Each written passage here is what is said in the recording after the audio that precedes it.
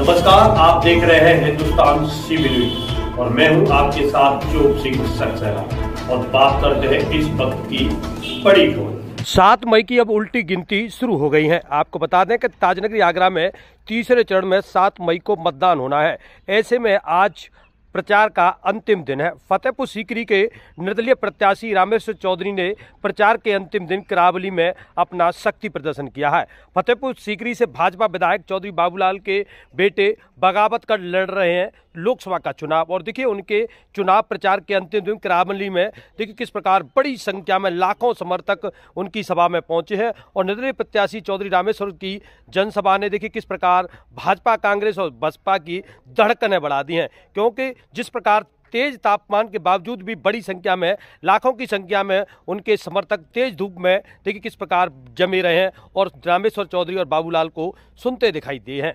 फतेहपुर सीकरी में तमाम राजनीतिक दिग्गजों की जनसभाओं में इतनी भीड़ नहीं दिखाई दी, जितनी कि आज रामेश्वर चौधरी ने शक्ति प्रदर्शन करके दिखाया है। आसमान से बरसती आग और भीषण गर्मी में भी देखिए किस प्रकार रामेश्वर चौधरी के समर्थक डटे रहे हैं। निर्दलीय प्रत्याशी ने भाजपा सहित अन्य दलों की देख लिए किस प्रकार मुसीबतें बढ़ती दिखाई दे रही हैं। निर्दलीय प्रत्याशी खड़ी कर रहे विरोधियों की खाट विरोधी प्रत्याशियों की खाट में लिपटाने की तैयारी कर रहे हैं चौधरी रामेश्वर सिंह।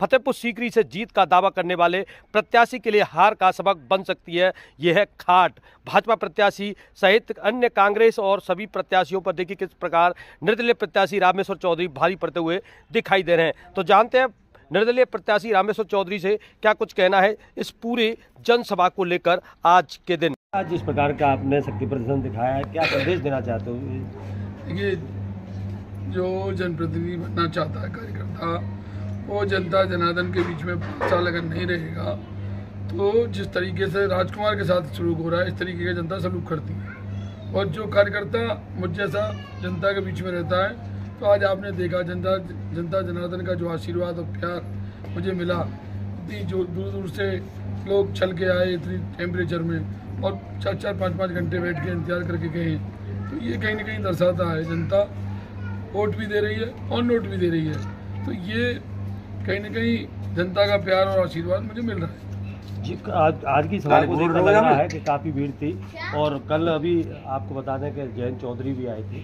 तो क्या चुनाव का कुछ फ़र्क पड़ेगा इनसे? नहीं देखिए एक बात था एक लाइव भीड़ होती है और एक स्वाभाविक रूप से चल के जाते हैं लोग। तो आज जो लोग आए थे वो स्वाभाविक रूप से खुद चल के आए थे।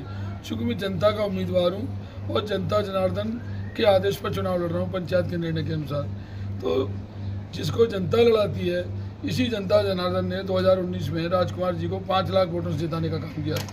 और आज वही जनता जनार्दन मेरे साथ है। तो जो जनता जनार्दन जब मेरे साथ है तो स्वाभाविक रूप से मुझे चुनाव लड़ाने का भी काम कर रही है।